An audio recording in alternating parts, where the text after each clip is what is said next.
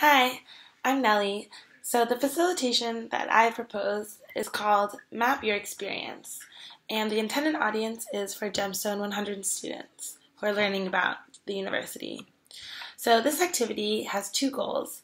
The first goal is to make students aware of the different opportunities and organizations that might show up outside of the First Look Fair, such as opportunities that students might only really learn about after being on campus for a while. And the second goal of this activity is to help students map out how they might get involved with these different student organizations or programs and to help them visualize the steps they should take to reach them within their four years at the University of Maryland.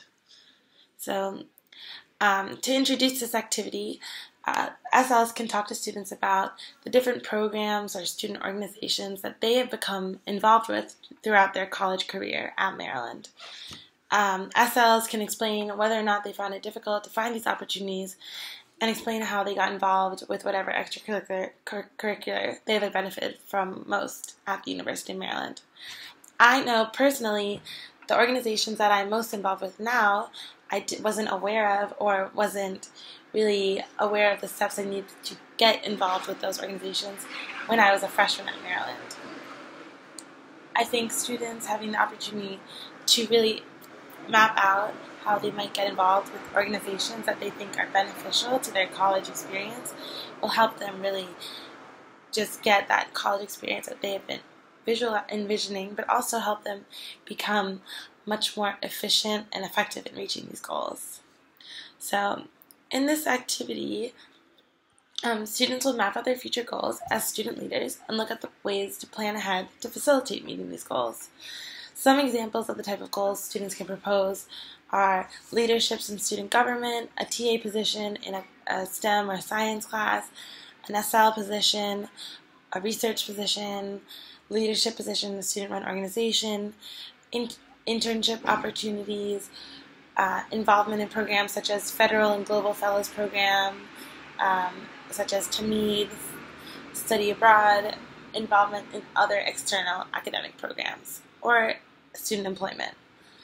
Um, in addition to these goals, um, there are also, in addition to these academic and resume building experience, students can also propose involvement in student organizations such as club sports, Greek life, um, in organizations such as SEE or the co-op.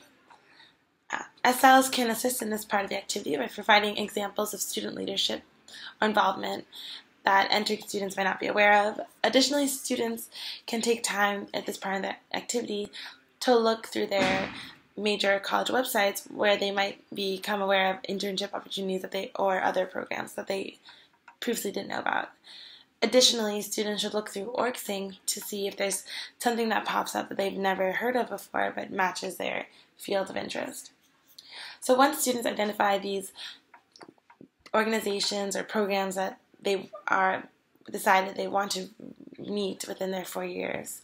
Um, we'll talk about planning and how to reach them. So, similar to making a four year plan, we'll talk about the different steps that students need to take in order to become involved with organizations, especially organizations um, that have application deadlines or other sort of deadlines. Um, so, during this the activity, students can draw using maps made out of markers and um, paper the different milestones that they would need to reach in order to become involved um, and before meeting their long-term goals. So the goal of this activity is that students are able to visualize the steps they need to curate their desired college experience and also realize the effort they can put in right now in order to ensure that they meet these goals. So after the activity is finished, um, this activity can be assessed through uh, a few manners.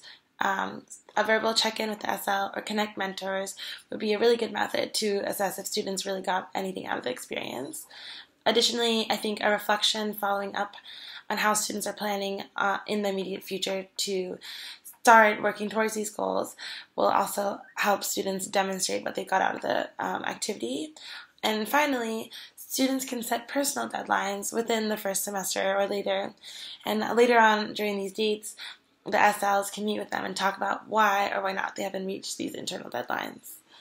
I think overall, this activity will help students who maybe are overwhelmed by all the different opportunities on Maryland really focus on getting involved at least with one thing throughout the first semester, which I find usually helps students feel integrated in the college um, community and also have a really good and enriching first semester.